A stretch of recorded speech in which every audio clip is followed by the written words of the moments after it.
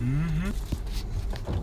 Nah, I know that ain't what I think it is. No, I was trying to get a little protein before I went to class. Now, what I say about eating all them little Debbie snacks? No, see, I was trying to have a little snack before. No, went don't worry about it. I'm gonna see you tomorrow morning at 6 o'clock. Sharp. We running five miles without stretching. You got 400 push ups, 400 sit ups, all with no water. To- No water? You got a 10 minute wall squat and 400 lunges on one leg. And when you get done with that, you can run the bar and them back in less than 15 minutes. Tomorrow fried chicken wings to do. Fried chicken wings to my ass, you can do some fried crunches.